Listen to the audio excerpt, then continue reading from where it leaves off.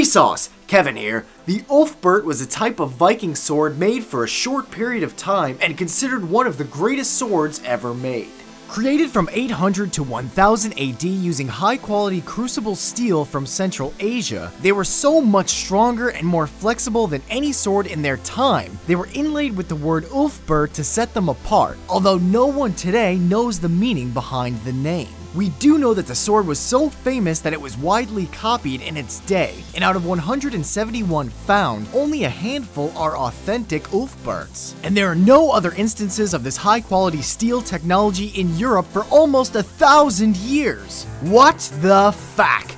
The facts and knowledge on legendary swords. Excalibur was the sword of King Arthur and arguably the most famous sword of all time. There are two different accounts of how he became the owner of Excalibur. One popularized version is that Excalibur is also the sword in the stone, and young Arthur was the only one able to pull the sword that was magically held by the stone and doing this proved that he was the true king of Britain. The other account states that he was given the sword by the Lady of the Lake. After he was mortally wounded in battle, he ordered one of his Knights of the Round Table to return the sword to the lake, where an arm rose and caught it.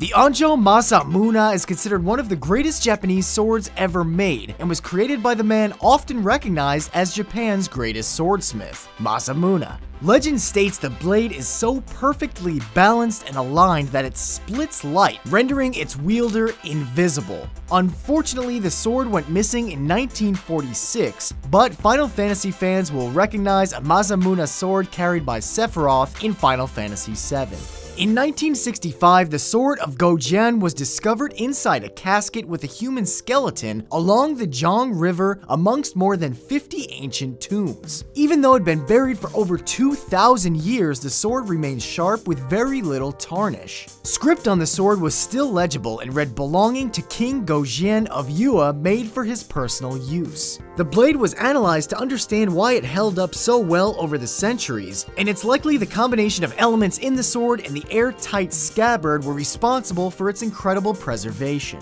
A claymore is a Scottish variant of the late medieval two-handed longsword, and it's the same kind of sword believed to have been carried by William Wallace. Wallace was a Scottish knight famous for leading a resistance against the English during the Wars of Scottish Independence, and immortalized in the 1995 film Braveheart. The sword is 5 feet 6 inches including the hilt and weighs 6 pounds. Legend states the original scabbard, hilt, and belt were made from the skin of one of the English commanders at the Battle of Stirling Bridge. Rapiers were specifically designed for thrusting and featured complex hilts to protect the hand of the swordsman. The hilts were designed with many variations, including the swept hilt in Italy, the Pappenheimer in Germany, or the Taza Cup hilt style of Spain and the rapier was made famous in pop culture by the Three Musketeers, The Princess Bride, and video games like the Fire Emblem series. To trap and defend against swords, there were trident daggers. Carried in the swordsman's offhand, it was designed to defend and parry swords, opening up the opponent for a strike. Sword breakers were designed to catch and then eventually break an enemy's sword. I'm gonna leave you with this legendary replica sword made by Tony from Man-at-Arms. What style is it and what famous historical figure used it? Before we go, here's last video's winner. I want to thank Tony from Man at Arms. This place is amazing. Check out his channel. Make sure that you subscribe. And as always, thanks for watching.